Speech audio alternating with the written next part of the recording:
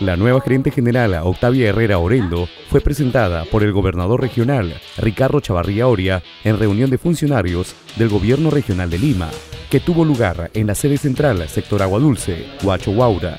Al asumir funciones, Herrera Orendo sostuvo que las primeras acciones a poner en marcha será el dinamizar las actividades técnicas y administrativas para garantizar la ejecución de gastos y alcanzar las metas a fin de año.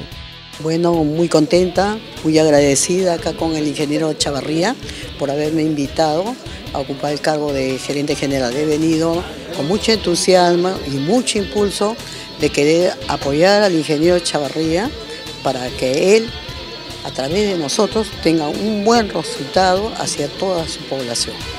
La que habla, vengo de ser gerente general de muchas municipalidades,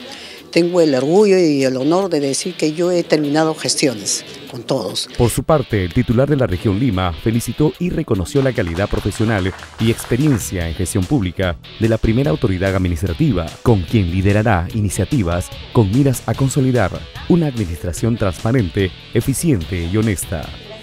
Bueno, realmente el día de hoy eh, la doctora Juan Herrera le hemos presentado a todo el equipo de funcionarios, gerentes, directores